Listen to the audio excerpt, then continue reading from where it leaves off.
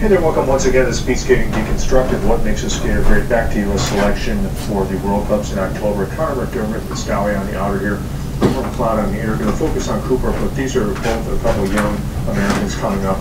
Um, and they've trained together for so long. And they have a really good cohort in the U.S. right now of, of really uh, generating some great skating. And they do it in these, these great, like three, four, five guys training together groups. So it's great to see.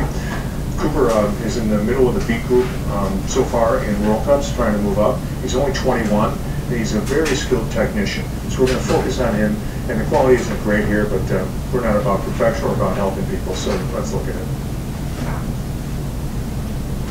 Right off the start, very good power. Driving that knees right on top seat, right on top of that skate, even before he gets into the skating stride wide here, though you can see in the middle, but again, it takes a while to straighten that stuff out. You can see his recovery right here, not optimal. Clear that up, you want to drive that knee sooner in the recovery. You don't want that knee to go out and then in. So the Cooper, what I would say is off this left, you really got to really use your core to drive that under you. You want it under better. So want a solid opener fast, 9-7.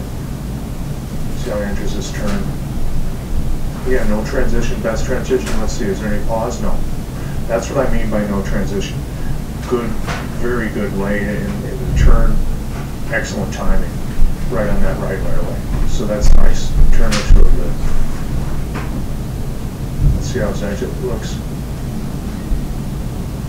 Again, apologize for the quality here, but we can see what we need to see nice line. And doesn't get a lot of outer. So that means he can turn that skate over fast and get pressure right into the ice. So that's very good. He's moving with that lead nicely right there. Very good power. And you notice he's got a lot of hip flexibility. The skate moves out, but he's not on the skate. He's using the clap and he's out here. So it's really excellent timing. Very good technician. And notice the, the drive across, you can just see it coming across this blade so fast. Watch this. Right there. Really, really good. Let's watch it in slow motion.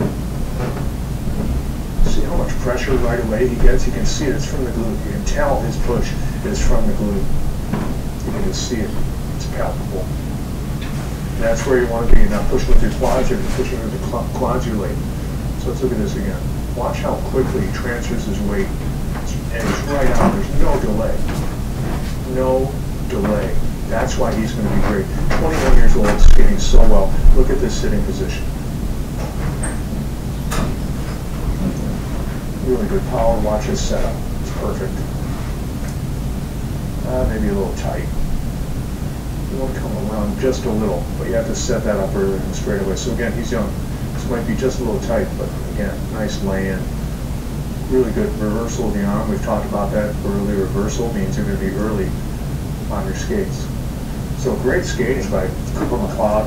Back in the U.S. trials, hoping these guys, Conor and Cooper and, Austin and uh, so many others uh, continue to improve for the U.S. So we'll talk to you next time on Speed Skating Deconstructed, What Makes a Skater Great. Bye-bye.